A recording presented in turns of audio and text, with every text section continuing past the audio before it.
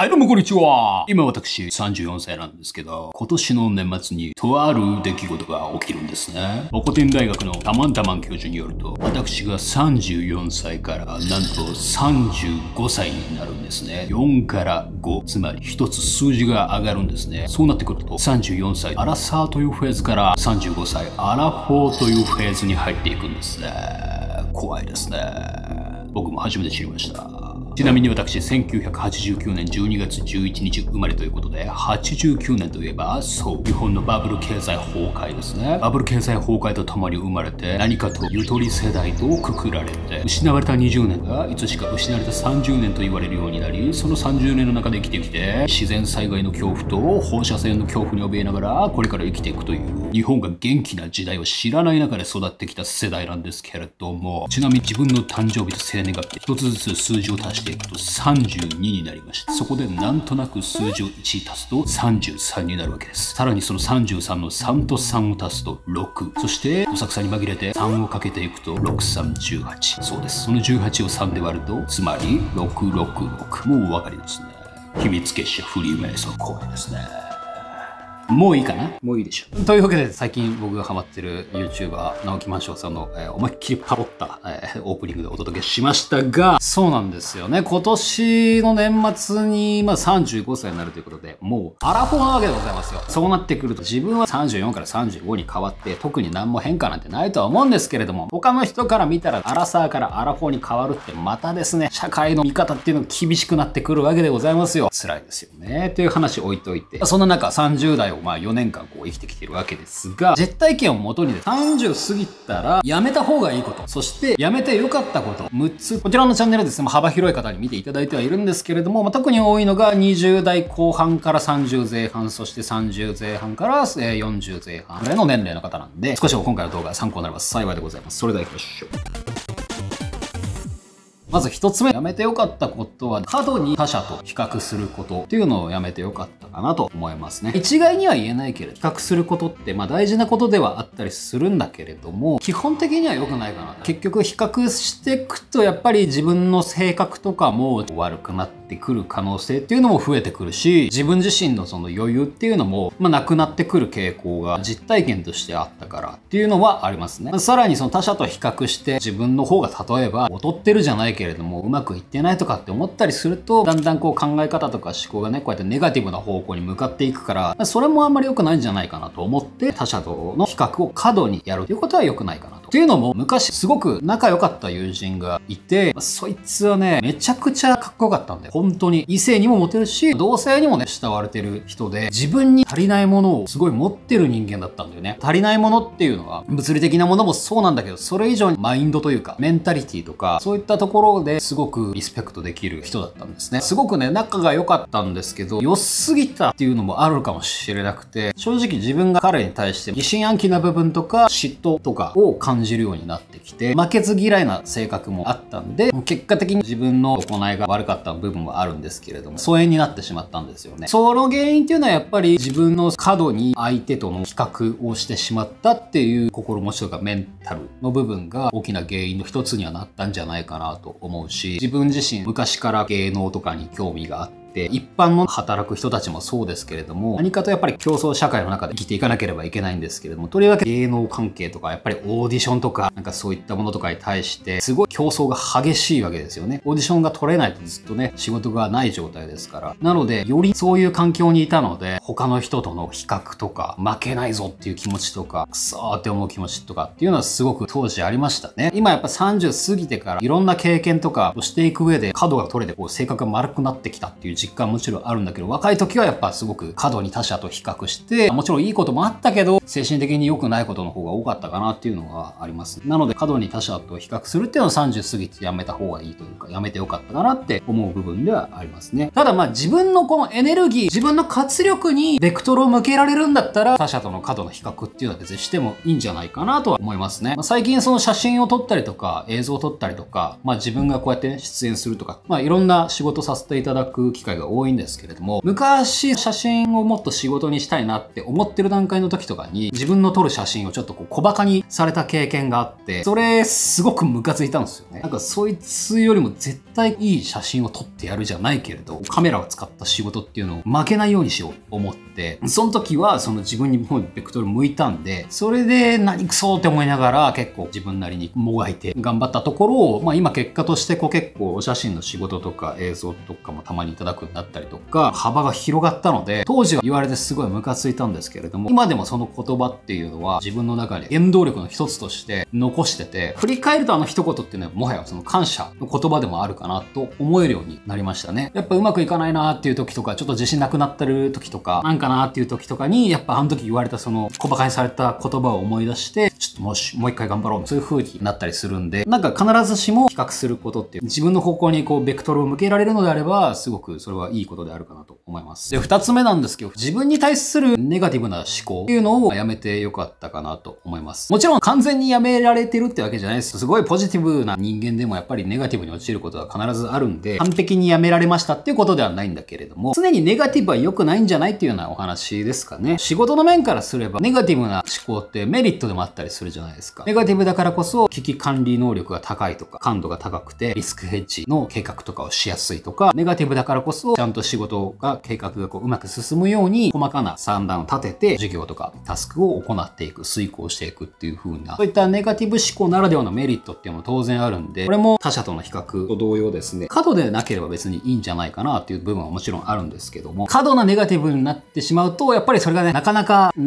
らない、改善しづらいっていうのももちろんあるし、癖になっちゃうとやっぱ良くないなって思うんですよね。自分は中学生の時に一つ上の世代が逮捕者が出るくらいの先輩がいっぱいいて、リアルルーキーズじゃないけれども、もう不良の先輩が一個上の代にいて、その人不良たちはみんな野球部だったんですよ。で、自分はその一つ下の世代で野球部入ったんで、大体こう先輩の練習試合とか、先輩との練習一緒にやってると、エラーするとものすごい怖いんですよね。当時中学生でしたからやっぱり、エラー一つすると、まあむちゃくちゃ言われたりとか、まあ自分の場合なんかちょっとこうユニークなキャラだったのをこう立ち回ってこう、暴力的なことは避けられたんだけど、基本的にすごくそのミスができないっていうような環境にずっと中学で部活やってて、さらに良くなかったのが、高校生の時に初心者でサッカー入ったんですよね。サッカー部入ったんですよ。それもメンタル的には良くなくて、すごい素敵な友達はいっぱいできたんだけど、学園生活もすごい楽しかったんだけど、部活動というくくりでは自分の体とメンタリティにやっぱりすごく良くなくて、やっぱりそれも初心者だからミスが多いと。で、ミスがやっぱりあまりにも多いと、みんなも仲が良くてもね、やっぱイラってすることもやっぱ多々あったと思うので、そういう風にミスはできない、ミスはできないっていう、この絶対ミスしてはいけないみたいな。で、またミスしてしまった。うわ、ダメだ。自分はダメだ。っていうそういうどんどんどんどんネガティブな方向に陥ってしまって、結果、急性腸症候群っていう IBS っていうのかな確か。まあ別の動画で上げたりもしてたんだけれども、まあそういう過度なストレスによって特定の状況にお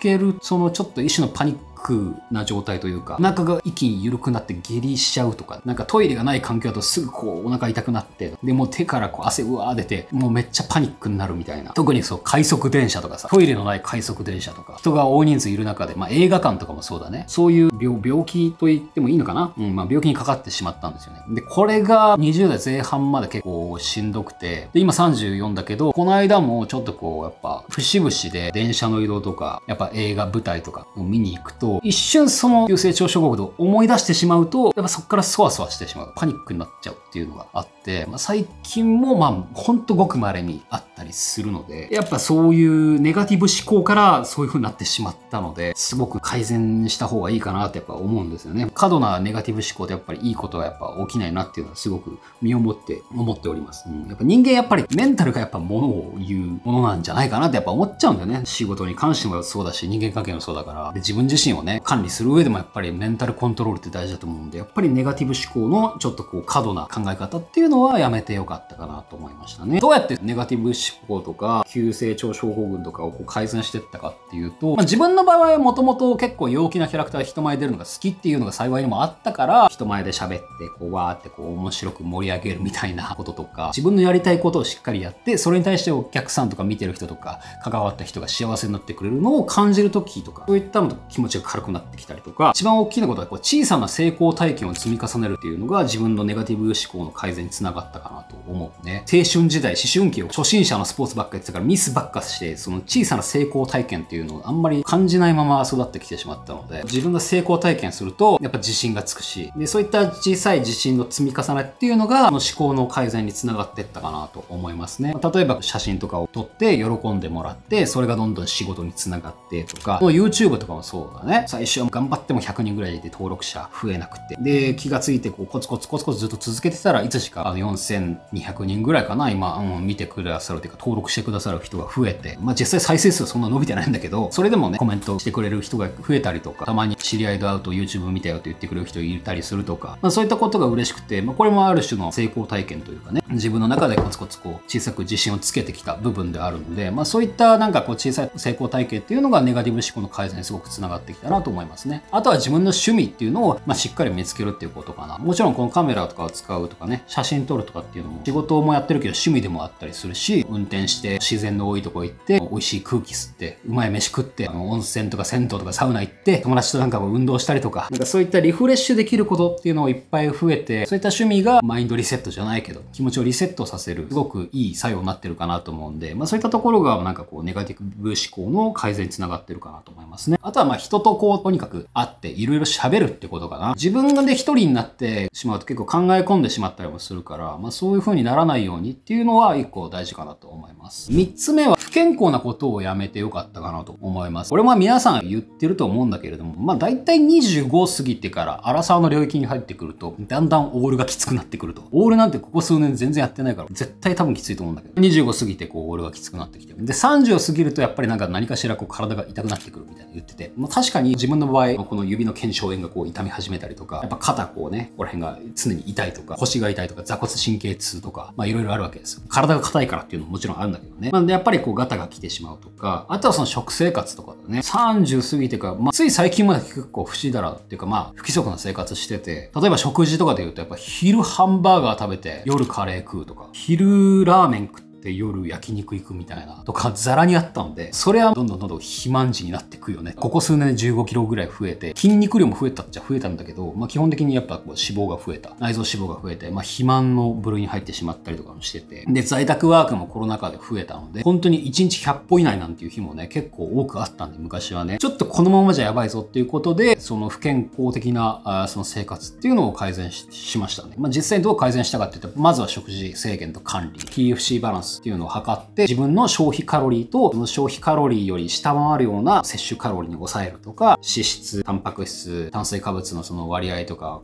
をこうま計算して、まあ、これ以上食べるとちょっと太っちゃうなとかっていうのを自分で考えるようにしたし、あとはサプリとかでね、iHerb とかのサイトで買って、マルチビタミンとかを摂取するようにとか、漢方系を飲んだりとか、まあそういったところもま可能な限りはやっていて、あとはその運動に関しては、まあジムに契約して、ここ最近はずっとこう週に2から3ぐらいですね。空いた時間があればとにかくすぐ行くっていう。まあその結果今体重がちょっと減ってきてて、まあいつかこう体重をね減らすその動画とかいうのはちょっとね、うまく完全に痩せられたら、肉体改造が済んだらちょっと公開しようと思うんですけど、まあしっかりやっぱ運動して汗を流すっていうことは大事にしてますね。で、あとはよく寝るってことですね。1日6時間以上はまあ必ず眠るように意識はしています。まあ朝早い仕事とかだと4時間とか5時間とか短くはなるけれども、まあ基本的には6時間は取れるように頑張っていますね。4つ目は浪費をやめましたね。お金を支払う場面ってまあ多々あると思うんだけれども、そのお金を支払う際に頭の中で意識してることは投資であるか、消費であるか、浪費であるかっていうその3つのカテゴリーに分けて考えるようにしてます。なんか物を買う時とか。まあ例えば自分磨きになるとかね、将来的なお金の蓄えとか、お金でお金を働かせるみたいな感じのもので言えば投資に当たるかなと思うんで、まあ例えば投資信託とか、積立 NISA とかもそうだけれども、まあジムに通うとかね、自分のこう筋肉とかそのね、若々しい体でいられるようにと、健康な体でいられるようにっていうのは、まあやっぱり投資、自己投資ではあると思うんで、まあそういったところにはちゃんと使う。あとは消費ですね。生活する上で必ずかかってくる固定費とかですね。まあそういったものは消費。それ以外のもので、まあ本当に必要のないもの、なんかたまたまその衝動買いとかしちゃうとか、そういったものはやっぱ浪費に当たると思うので、なるべくそこをセーブするようにっていうのは、やっぱ住み分けるようにっていうのはちゃんとこう考えるようになりましたね。30過ぎてからは。まあ、もっと早くてもいいと思うんだけどね。20後半から考えてもいいと思うんだけど。やっぱちょっとした買い物とかでもやっぱりちりつもで、あの、支払いがね、高くなってくるので、まあ、例えばまあコンビニとかでなんかこう、おやつ買うとか、あとはこう、自販機で飲み物をこう買うとか、なんとなく飲みたいからこう買うね。冷静に考えると。別に我慢しようと思えば我慢できるなっていう風に、やっぱりそう一回考えて立ち止まって買わないようにするとかっていうのを、まあ、意識するようになりましたね。まあ、その代わり、新婚旅行とか、今までの普通の旅行とかね、キャンプとかもそうだし、友達となんか遊ぶとか、なんかそういったものに関しては、経験とかに関しては結構思いっきり使うようにしてますね。なんかやっぱり自分が生きていく上で遊びに対しても全力でやりたいっていう、そのために仕事してるっていう部分も自分はあったりするので、経験とかっていうものにはなるべくパート使うようにしてますね。自分自身だけの経験だったら別にそんなに使わないんだけど、まあ、そういう風にお金を住み分けする、浪費であることをカテゴライズしてうまく住み分けするっていうのをやるようにしてますね。なので浪費、単純な浪費っていうのはやめてよかったかなと思います。で、5つ目なんですけれど、5つ目は完璧主義、完全主義をやめるっていうことをしましたね。まあ、自分ね、完璧主義なんですよね。几帳面的な人間なんですよね。自分で言うのもあれなんだけど。なので、完璧、完璧にやりたい、やらなきゃいけないってずっと思ってたんだけれども、単純にストレスになるだけで、最近思うようになった。で、世の中にやっぱり完璧なことっていうのはやっぱりほとんどないわけで、ましてやね、自分の仕事、例えばこう、クライアントから仕事いただいて、まあ、完璧に対応するとか、完璧にこれはできましたと。期待以上のものをこれ、むしろできてます、みたいな風に、自信を持っていつもお届けするんだけれども、まあ、自分のことであれば、その完璧なものっていうのは絶対ないわけ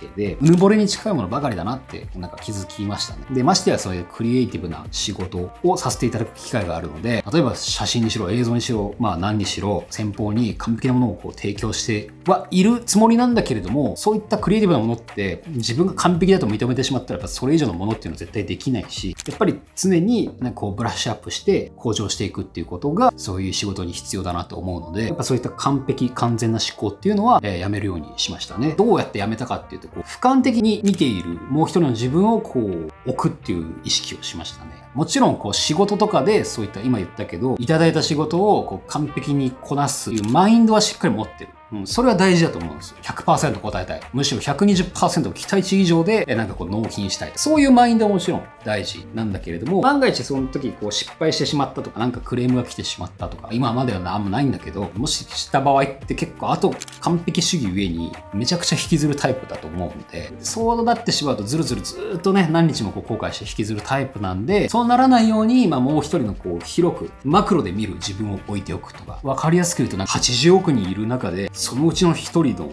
お前が地球上規模で見たらすごいちっちゃいミスをしたところで何も世界は変わらんぞみたいなぐらいの大きな視点でこう物を見ている自分を置いておけばすごいミスをしたとしても失敗は成功のもとじゃないけどこれからまたそのミスを反省点としてまた次に活かせ頑張ればいいだけの話だからそれを完璧主義すぎると、自分視点だけでなっちゃうと結構ずっとこう考え込みすぎてネガティブになっちゃったりとかちょっと精神的にこう崩れてしまったりとかする人も中にはいると思うからそういう視野の広い自分をもう一人置くっていうことによって、まあ、そのなるべく完璧主義っていうのをこうやめるというか、改善するようにはできたかなと思います。で、最後、6番目なんですけれども、他人の評価を気にするっていうことをやめましたね。嫌われる勇気っていうベストセラーの本ありますよね。知ってる人結構多いと思うんですけど、アドラー心理学だったかなあれ。確かアドラーの本だよね。嫌われる勇気っていう本で、まあすごくそれを参考にっていうか実践してるんですけど、実際に。やっぱりこう他人の評価を気にしすぎたりとかすると、自分を変に偽ってごますったりとか、よいしょよいしょしまくったりとか、自分を殺してなんか相手を立たせるとか、もう気遣いばっかする。もう気に入られたい気に入られたいみたいなことをするしがちだったりするじゃないですか。まあ自分もコメディな感じでちょっとコミュニケーション取りがちなんで、本当にごまするときはマジでこうやりながら話したりとかするんで、結構面白がってくれたりする人もいるんですけど、人に好かれようと好かれようとこうこだわりすぎちゃうと、結局その相手の評価が気になりすぎて、他の人たちに振り回されちゃって、まあ、その結果自分自身すごくストレスを感じてしまうとか、なんか普通にこう飲み会とかであったりとか、なんかイベントとかであったりとか、まあなんか普通にこう上司の人と話したりとか、クライアントの人と話してて、その時は楽しかったけど、帰り道とか家帰ってきて、あの発言どうだったかな？この発言良かったかな？あれ言い過ぎたかな？結構ね、中にあると思うんですよ。そういうの考えすぎちゃうとやっぱりね、ストレスになっちゃうし、やっぱね、期待に応えようとかってしすぎちゃうとやっぱり周りに振り回されちゃうんで、やっぱそういう風な過度なその他者への評価を気にするってことはやっぱやめてよかったかなと思いますね。やっぱ人間関係のストレスってすごい抱え込みやすいからね、解放しづらいっていうのもあるから、すごく悩ましいんだけれども、やっぱり嫌われる勇気。まあその本にも確か書いてあったんだけども、結局はその他者の評価って自分自身で変えることができないから、気に入られようと行動したところで、実際に気に入られるかどうかっていうのはその他者次第であるからね。その人次第であるから、ここにそんな意味はないぞみたいな感じのことも確か書いてあったんで。まあ、とにかく相手の評価なんていうのは、もう相手に任せて自分の人生をこう自分らしくこう生きるというか、もう自分のキャラクターはこういう人間ですっていう、その、好くか好かれないかはあなたの自由ですよみたいな感じ。こう、こういう風などうぞみたいな。間口を広げとくだけでいいみたいな。うん、そういった思考の方がやっぱり楽だなってすごく思いました。どんな人気がさ、例えば大谷翔平とかでもね、嫌いな人はいるわけですから、絶対大谷翔平のこととか。イチローとかでもね、やっぱ嫌いな人もいるだろうしね。サッカーで言うとこう、久保建英君とかね、久保君とかもね、めっちゃ22、3歳ですごいスペインのサッカーでね、リーガですごい活躍してるけど、やっぱあの人、久保君嫌いっていう人もやっぱ絶対いるわけだから。必ず人間で全員に好かれるわけではないから、やっぱりね、嫌われる勇気を持つことによって、やっぱ、その他者の評価っていうのを気にしなくなった方が、まあ、すごく生きやすくなったかなと思いますね、シンプルに。で、仕事とかに関しても、有名な方とね、こう写真を撮らせてもらうとか、一緒に仕事させてもらうとかっていう機会は、ここ最近すごく増えてるんだけども、有名人だからといって、自分がこう、変に取り繕うとか、しなくてもやっぱいいなって、やっぱ思いましたね。うん、まあ、多少はね、なんかこう、コミュニケーションの中で、まあ、よく見てますとか、なんかそういうのはもちろんあると思うんだけれども、自分もやっぱそういった人と一緒に仕事をしたいから、変にこう高く敬うっていう、リスペクトはもちろんあるんだけれども、変にそのおべっかするとか、あごまするとか、気に入られたいから何かを変えるとかっていうのは別にしなくてもいいんじゃないかなって思いました。実際しなくてよかった。はい、ということで今回はですね、実体験のもと30過ぎたら、まあ、やめてよかった、やめた方がいいなって思うことを6つっていうのをま雑談形式で紹介しました。ほんとね、なんか、このチャンネルね、見てくださってる人には、その自分よりも、あのー、世代の上の人が結構まあ上の人も見てくださってて、人生の先輩としてね、なんかこういろいろと